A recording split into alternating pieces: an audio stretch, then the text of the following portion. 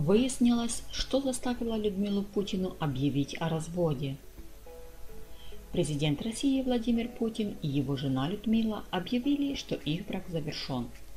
После балета «Эсмеральда» в Государственном Кремлевском дворце в четверг вечером они дали интервью корреспонденту телеканала «Россия-24», в котором сообщили о готовящемся разводе.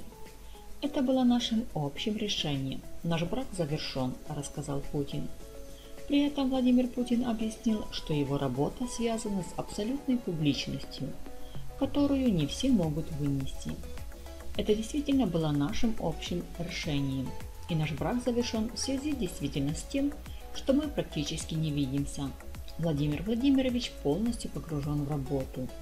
Дети наши выросли, они живут каждой своей жизнью.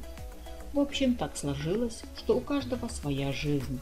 Я действительно не люблю публичность. Мы навсегда останемся очень близкими людьми. Я благодарна Владимиру Владимировичу, что он меня поддерживает, сказала Людмила Путина.